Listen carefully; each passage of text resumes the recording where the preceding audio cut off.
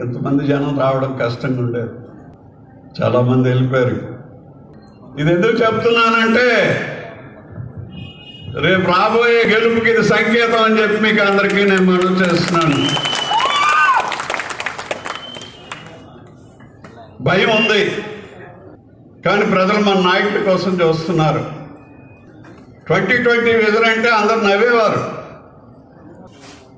ఇందాక మన శ్రావణ్ కుమార్ చెప్పారు యూనివర్సిటీ నాయకుడని నా ప్యానల్లో బాలయోగి సీనియర్ రిప్రజెంటేటివ్. ఎర్రనాయుడు నాకన్నా వన్ ఇయర్ జూనియర్ లాలో రామనారాయణ రెడ్డి జాస్యాల మేషి వీళ్ళందరూ out going lawyers. Pidathala Rangareddy కొడుకు వీళ్ళందరూ.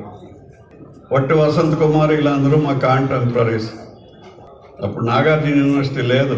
అందుకోసం అందరూ క్రీమ్ సొసైటీ క్రీమ్ అంతా ఉండేది. బాలయ్య జడ్పీ చైర్మన్ తర్వాత ఎడ్యుకేషన్ మినిస్టర్ తర్వాత స్పీకర్ ఇట్లా అన్ని ప్రాంతాల్లో అందరికి కూడా వచ్చింది అని అంటే అది ఎన్టీ రామారావు గారు చంద్రబాబు నాయుడు గారు చదువు అని చెప్పి మీకు అందరికీ నేను మనం చేస్తాను మరి నువ్వు ట్వంటీ ట్వంటీ అనేటప్పుడు మేము అక్కడ ఉండేవాళ్ళం. కొన్ని చెప్పాలా?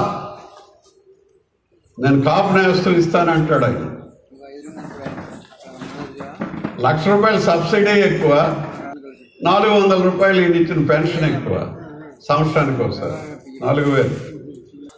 విదేశీ విద్యకి ఇచ్చిన పదిహేను లక్షలు ఎక్కువ విదేశీ విద్య ఇప్పుడు ఎక్కడ ఉంది కాపులకి అలాగే ఎస్సీ కార్పొరేషన్కి ఏముంది?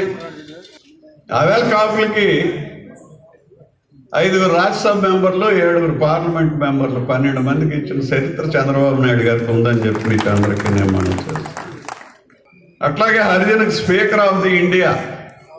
చైనాలో తర్వాత ప్రపంచ దేశాల్లో పెద్ద ప్రజాస్వామ్య దేశానికి ఒక హరిజన్ స్పీకర్ని మొట్టమొదటిసారి ఇచ్చినటువంటి వ్యక్తి చంద్రబాబు నాయుడు గారు అని చెప్పి మీకు అందరికీ నేను